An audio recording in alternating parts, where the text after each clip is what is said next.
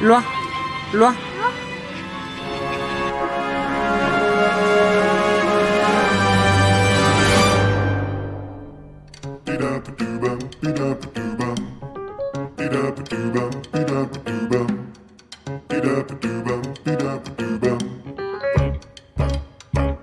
일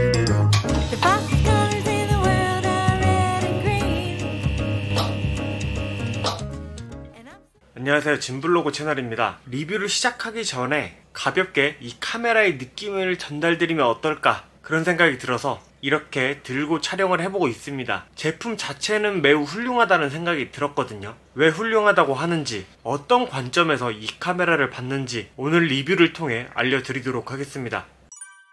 가성비 그리고 휴대성을 고려하다 보니까 현재 계속해서 이렇게 알파 6400을 메인으로 사용을 하고 있었습니다. 중간에 full frame도 고민을 해보고 사용도 잠깐 해봤거든요.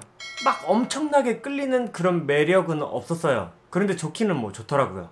그리고 이번에 기존 소니 crop body보다 조금 더 저렴하게 사용할 수 있는 신제품이 출시되었고 그 제품을 이번에 사용을 해보게 되었습니다. 막상 사용을 해보니 어 정말 괜찮네 라는 생각이 들었고 그래서 오늘 전체적인 사용 경험 위주의 리뷰를 진행을 해보려고 합니다. 오늘 리뷰할 제품은 네 바로 옆에 있는 이거죠. 소니 ZV-E10 카메라입니다. 그리고 여기 밑에는 이렇게 소니의 슈팅 그립 제품입니다. 이 카메라 처음에 접했을 때 대표적인 특징들이 있더라고요. 간단하게 먼저 설명드리게 되면 4K 브이로그 카메라 crop 미러리스 라인업 알파 6000 시리즈에서 파생된 모델입니다. 3캡슐 마이크가 내장되어 있고 전자식 손떨방을 사용하고 있습니다. 무게는 456g, 플래시는 따로 존재하지 않고요.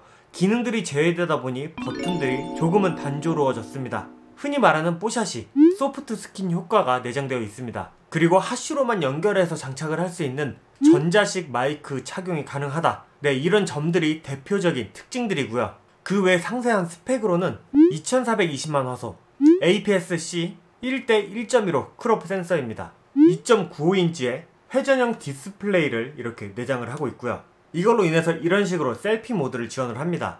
기존 crop바디에 있던 뷰파인더, 뷰파인더가 제거가 되었고요. 최대감도 ISO 32000, 최대 셔터 스피드 4000분의 1초, 하이브리드 AF를 지원을 하고요. 여기 있는 눈을 쫓아다니는 AF를 또 역시 지원을 합니다.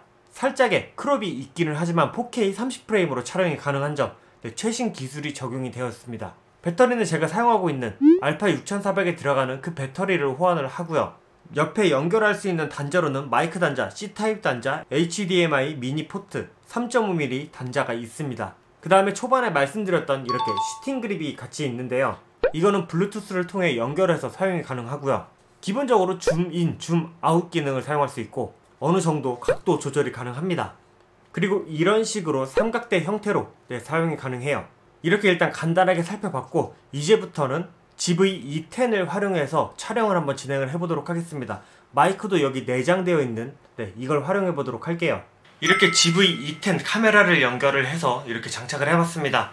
일단 설정 자체는 기본 설정으로 맞춰놨고요. 일반적으로 이 카메라를 사용하면 이런 느낌으로 촬영된다라고 보시면 될 것 같아요. 자, 그러면 이 카메라를 계속 켜두고 이야기를 이어나가도록 하겠습니다. 이 제품 실제로 사용하면 쓸만할까? 이런 고민 때문에 구입을 망설이시는 분들이 분명히 있을 것 같아요. 그래서 제가 다양한 방식으로 사용을 해보고 나서 장점 그리고 단점들을 이렇게 나눠봤는데요. 먼저 단점들을 여러분들께 설명을 드려보도록 할게요.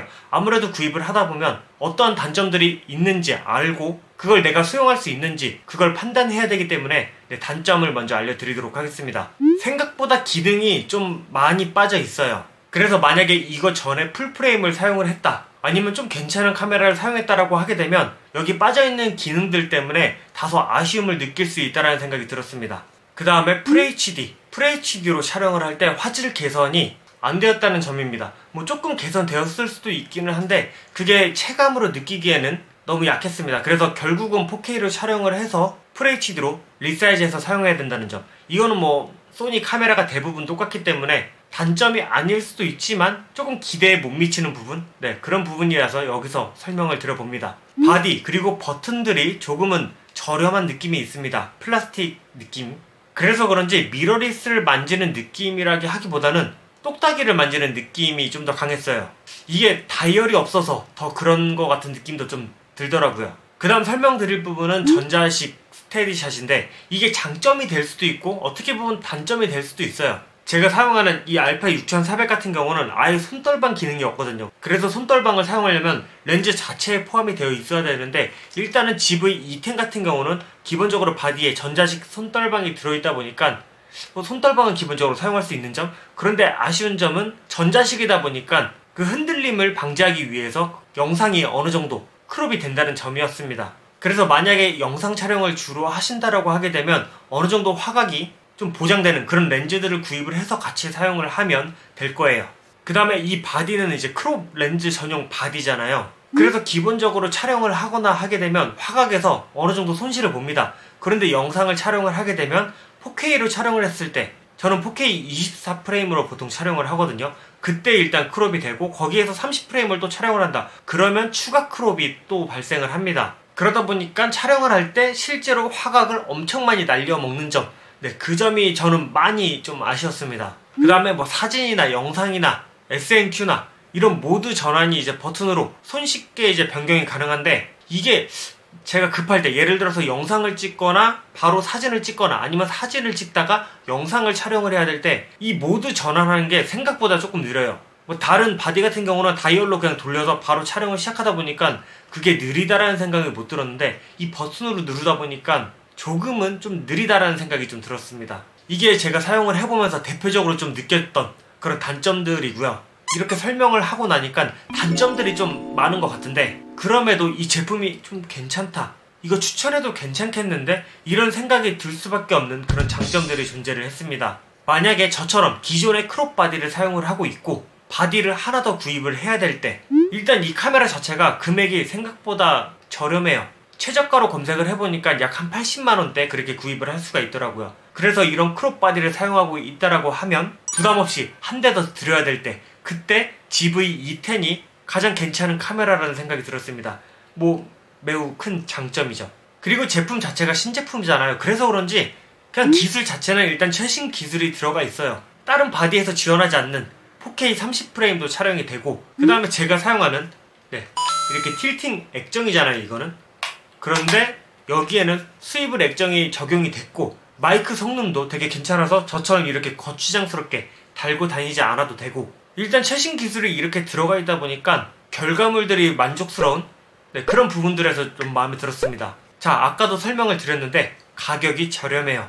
일단 최저가 기준으로 한 80만원대 지금 한 그렇게 구입이 가능하더라고요. 제가 이렇게 대여해서 사용해본 이 카메라는 화이트인데 이 화이트랑 이 렌즈의 조합 이 번들 렌즈가 은색이거든요. 그냥 딱 이 조합으로 사용하면 괜찮겠다라는 생각이 들 정도로 카메라가 매우 이뻤습니다. 그래서 가볍게 들고 다니면서 촬영한다라고 하게 되면 사용하면서도 매우 만족스럽게 사용할 수 있는 그런 카메라라는 생각이 들었습니다. 그리고 마이크 마이크가 내장되어 있어요. 그냥 단순 마이크가 아니라 3캡슐 마이크예요 거기다가 wind 필터까지 따로 제공을 해줍니다. 그래서 만약에 밖에 나가서 뭐 브이로그를 촬영을 한다거나 아니면 내가 맛있는 거를 먹거나 카페를 가서 뭐 친구들끼리 뭐 촬영하고 사진 촬영하고 영상 기록을 남긴다 라고 했을 때 조금은 덜 부끄러운 보통 밖에서 브이로그를 하게 되면 막 거추장스럽게 카메라가 점점 커지잖아요. 그런데 이거는 바디도 이쁘고 렌즈 조그맣죠. 그 다음에 마이크 내장 되는데 성능도 좋아. 이렇게 슈팅 그립까지 따로 구입을 하게 되면 그냥 완전 브이로그 세트예요.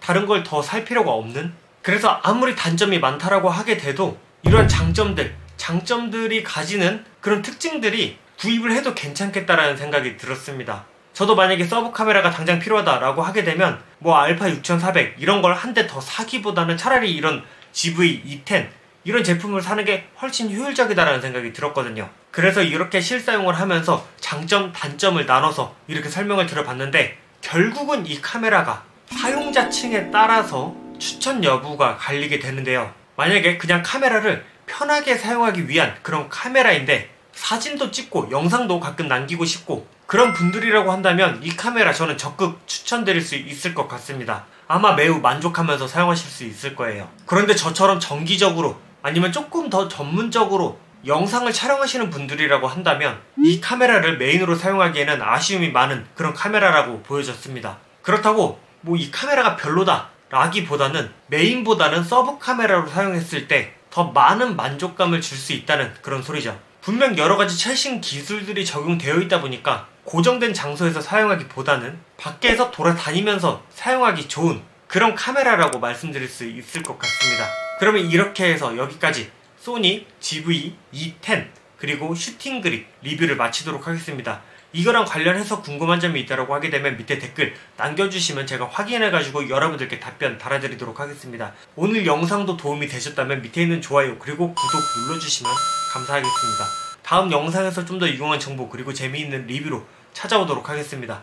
다음 영상에서 뵙도록 하겠습니다. 감사합니다.